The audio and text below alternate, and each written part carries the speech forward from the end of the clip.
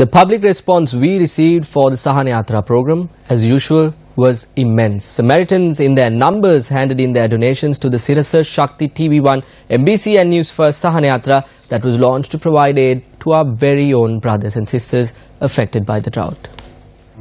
Donations were pouring in since this morning at the MTV MBC head office premises located down Braybrooke Place in Colombo 2.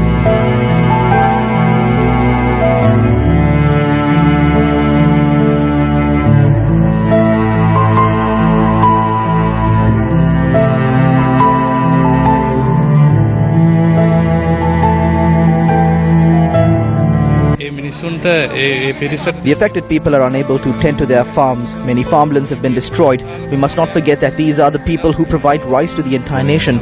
We must do what we can for them.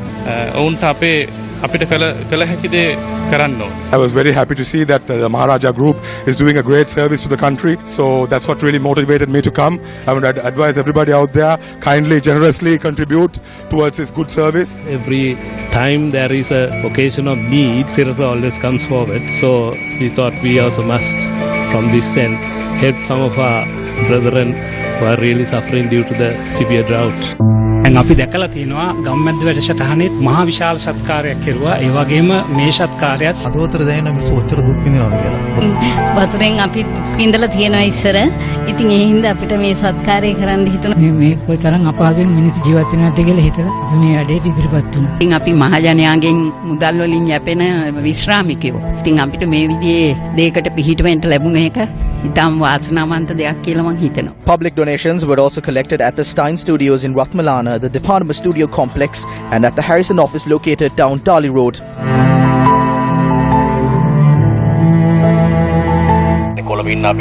We in Colombo would not feel this a lot. We are the ones who could aid this initiative. Come and donate even a bottle of water. ගෙන් පසු වෙන ජනතාවට අපේ ආධාරය අපි පූජා කරනවා. දැන් මේ මිනිස්සු කොච්චරක් දුක් විඳින වතුර ගැන අත්‍යවශ්‍යම දෙයක් නේ මම ඒ විශ්වාසයෙන් තමයි අපි හැමදේම කරන්නේ. බොහොම ස්තුතියි ඔයගලන්ට. මං හිතන්නේ මුළු රටවැසි ඔක්කොම ස්තුතිවන්ත වෙන්න ඕනේ කියලා. Water tanks provided by PE Plus Private Limited will be taken to the drought-affected areas tomorrow and will be established in those areas.